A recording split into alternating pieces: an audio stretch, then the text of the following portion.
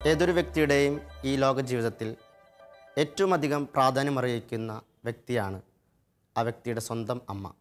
കാരണം ആ വ്യക്തിയുടെ ബാല്യ കൗമാര യൗവന കാലഘട്ടങ്ങളിൽ ഏറ്റവും അധികം കൂട്ടിരിക്കാനായിട്ട് സാധിക്കുന്ന വ്യക്തിയാണ് അയാളുടെ സ്വന്തം അമ്മ. അതുകൊണ്ട് തന്നെ ഭൗതിക ജീവിത യാഥാർത്ഥ്യത്തിലെ ഏറ്റവും പ്രമുഖ സ്ഥാനം അമ്മയ്ക്കാണ് എങ്കിൽ ഓരോ ക്രൈസ്തവന്റെയും ആത്മീയ ജീവിതത്തിലെ പരിശുദ്ധ അമ്മയ്ക്കുള്ള സ്ഥാനം അതിലും ശ്രേഷ്ഠമാണ്.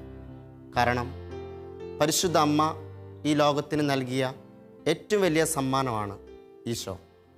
ആ ഈശോയെ ലോകത്തിന് നൽകാനായിട്ട് അമ്മ ഏറ്റെടുത്ത ത്യാഗങ്ങൾ ഓരോ ക്രൈസ്തവന്റെ ജീവിതത്തിലെ ഏറ്റവും പ്രധാനപ്പെട്ട വസ്തുതകളാണ് എന്ന് തിരിച്ചറിയുമ്പോഴാണ് പരിശുദ്ധ അമ്മയ്ക്ക് ആത്മീയമായ ജീവിതത്തിലെ വലിയ സ്ഥാനമുണ്ട് എന്ന് നമ്മൾ വിശ്വസിക്കുന്നതും ഏറ്റുപറയുന്നതും.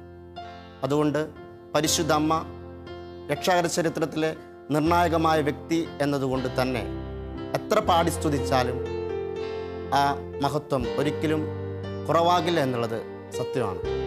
പരിശുദ്ധ അമ്മ ഈ ലോകത്തിന് സമ്മാനിച്ച ഏറ്റവും ശ്രേഷ്ഠമായ സമ്മാനമായ ഈശോയെ പ്രതി പരിശുദ്ധ അമ്മയ്ക്ക് ഈ ഗീതം നമുക്ക് സമർപ്പിക്കാം.